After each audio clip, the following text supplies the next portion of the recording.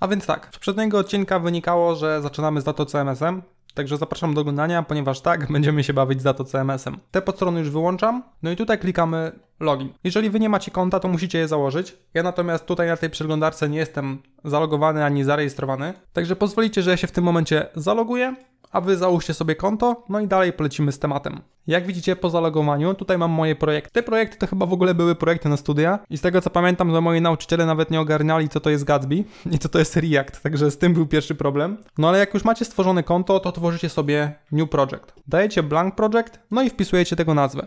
Ja wpiszę po prostu kurs Gatsby'ego.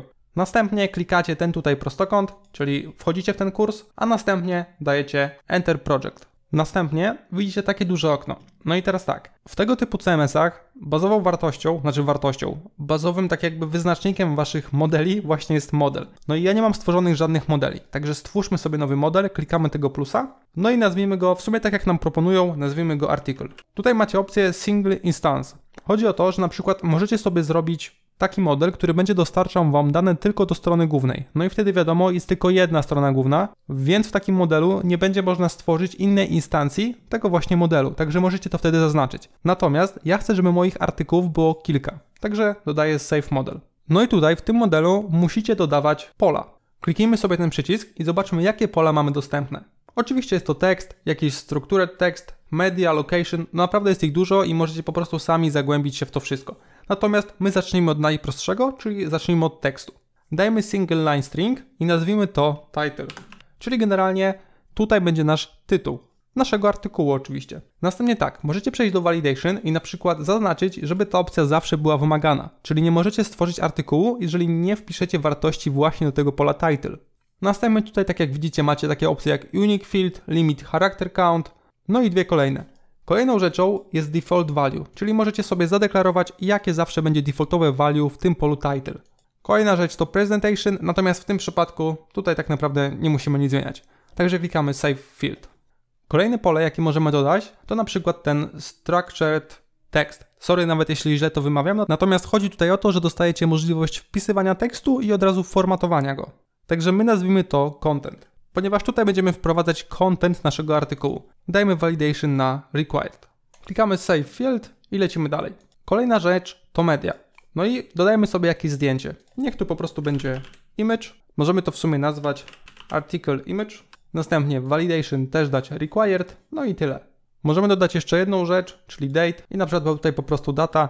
Następnie tutaj wpisujemy creation date żebyśmy wiedzieli po prostu kiedy ten artykuł został stworzony i też dajemy required. Dajemy save field i tak naprawdę tutaj tyle. Jest jeszcze jedna bardzo ważna rzecz, o której mogę powiedzieć w tym odcinku, to tak jak widzicie modular content. Czym jest ten modular content? Kiedyś było tak, że po prostu klikaliście modular content i tutaj go definiowaliście. Natomiast ostatnio wprowadzili takie zmiany, znaczy ostatnio, no już jakiś czas temu, że wcześniej, żeby dodać ten modular content, to musicie go stworzyć. No i tworzycie go tutaj w blocks library. Dodajmy sobie plusika, no i nazwijmy go na przykład article block. Dajmy save model, a następnie tutaj możemy dodawać pola. I teraz, jaka jest zasada? Chodzi o to, że jak tutaj dodamy jakiś tekst, nazwijmy go jeszcze raz title, ok, i niech tak zostanie. Teraz wrócimy do modeli, przejdziemy do naszego modelu article i tutaj dodamy sobie modular content, który będzie, nie wiem, nazwijmy go modular content, zaraz go i tak usuniemy.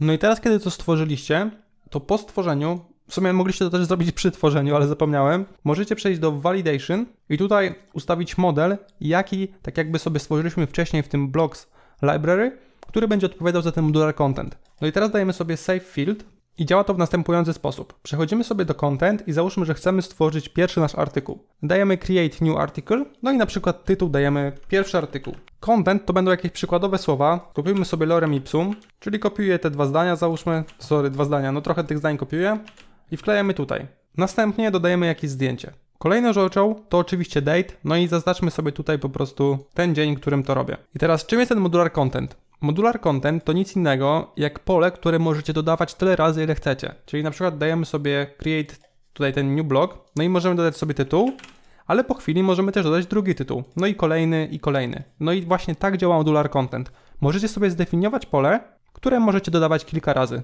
w danym po prostu modelu. My to zapisujemy, no i już mamy stworzony jeden artykuł. Przechodzimy sobie jeszcze do settings, przechodzimy do tego article, no i po prostu usuńmy ten modular content, ponieważ nie będzie on nam potrzebny w tym kursie.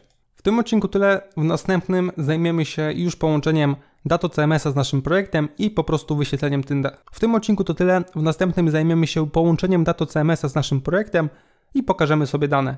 Także trzymajcie się, cześć!